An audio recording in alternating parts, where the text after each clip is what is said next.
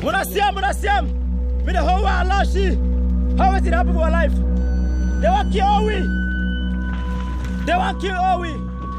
This is the village of Kukembomo in Cameroon being burnt to the ground. The bullet that is they use for we, for civilian them. Me the word Siam. For months now, images like these have been pouring out of Cameroon on social media. Some show burning villages, others record acts of torture and killing. Many are too graphic to show. Taken together, these films show a country sliding into civil war as the government tries to suppress an armed insurgency. So, what's going on? Africa Eye has analyzed some of these videos, checked them against satellite imagery, and spoken with eyewitnesses on the ground.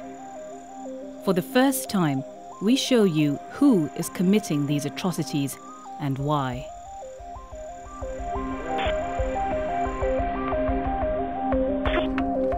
This is a conflict that has been building for decades.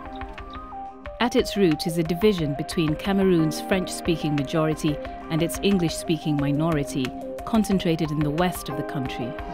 The Cameroons celebrated their newly won independence, something to bang the big drum about. After Cameroon gained independence in 1960, the two parts of the country formed a single nation. Even then, some English speakers felt they'd been forced into the new republic.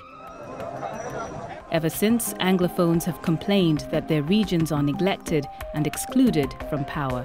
We went to court today. They refused us to enter the court.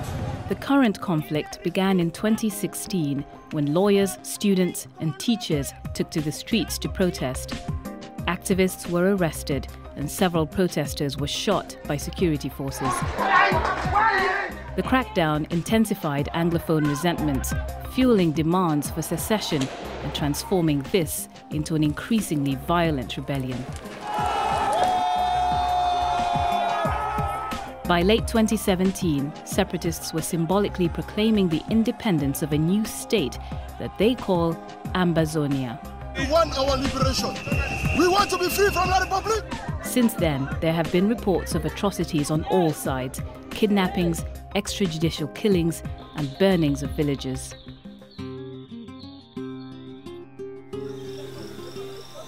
This is one of those villages, seen in a video recorded in April this year.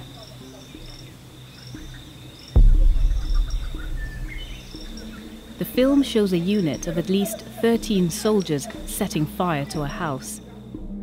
The location can be confirmed by matching buildings to satellite imagery, as well as by fire damage in this subsequent video from the same village. These men appear to be government troops. The fatigues, the helmets, and the black webbing are all consistent with those worn by Cameroon's Rapid Intervention Battalion, an elite army unit that has been trained by US and Israeli forces. Here they are again in a 2016 video, seen with the distinctive BIR on their webbing. A local resident told the BBC that the troops who destroyed houses in Azi belonged to the BIR. But a government minister said that the identity of the men in this video is unclear. Qu'ils acquièrent le, euh, euh la tenue militaire de, BIR ou de toute autre euh, force de défense pour perpétrer leur forfait et imputer cela à nos forces de défense et de sécurité. L'épisode que vous décrivez fait l'objet d'une investigation afin qu'on sache exactement ce qui s'est passé. A few days later, in early May, this video was posted to Facebook. This they use for we, for civilian them, for Kiwi. We've examined the footage frame by frame and confirmed that this was filmed in the village of Kukembomo. UN, wait till the Siam, wait till the wait. Now want me to kill we. No Muslim na for last stick them before we not talk. This satellite image is from April 16th, 2018.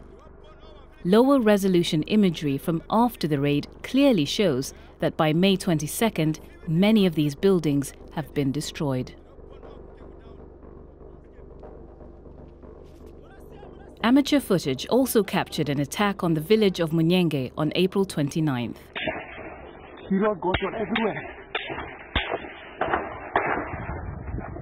This video shows the town centre ablaze and reveals this distinctive landmark, which can be seen again in a video of the aftermath posted on May 4th. If they send me the talk, oh no, like na center town is the report now Munyenge.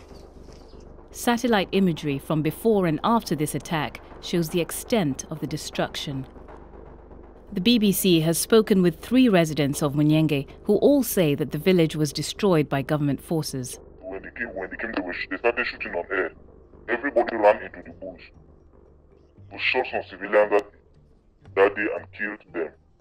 In the evening of that same Sunday, they started burning the few houses around them. They burnt one full quarter that day. So the next day on Monday, they continued with burning. They killed one person, cut off his head, and the corpse got rotting there until nobody could uh, go and bury that corpse.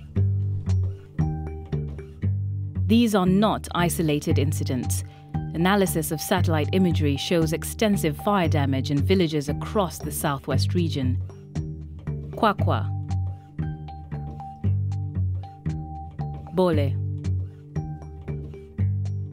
Kumukumu, Bekora. We cannot confirm who was responsible for torching these villages, but lawyer and activist Agbor Nkongho blames government forces. From reports that we gathered, we've done um, some investigation. We've gone to some of the villages.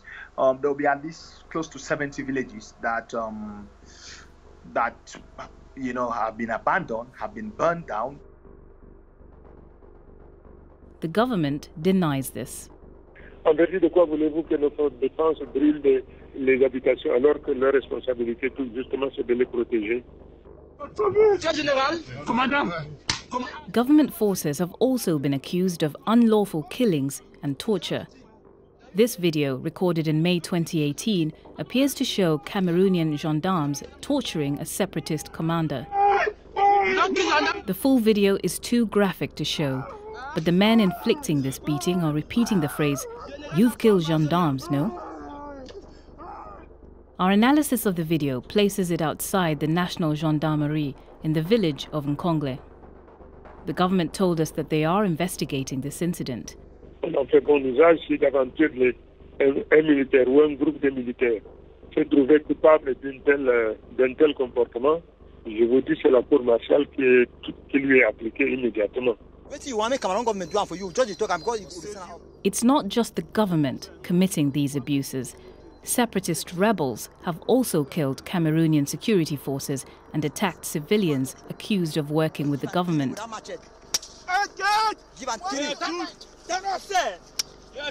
Cameroonian authorities say that 81 members of the security forces and more than 100 civilians have been killed by separatists in the past year. The rebels have also attacked and burnt down schools.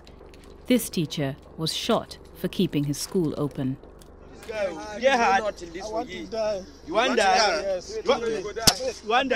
This new video shows a village chief being beaten, apparently by a rebel militia. His tormentors are threatening to kill him if the government doesn't respond within 24 hours. Thousands of families have been forced from their homes by the fighting.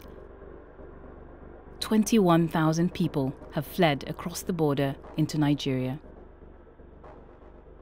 The UN estimates that a further 160,000 are displaced within Cameroon. Who have run away from the attack that, took place today. Many, like the people shown in this video, are still hiding in the forest.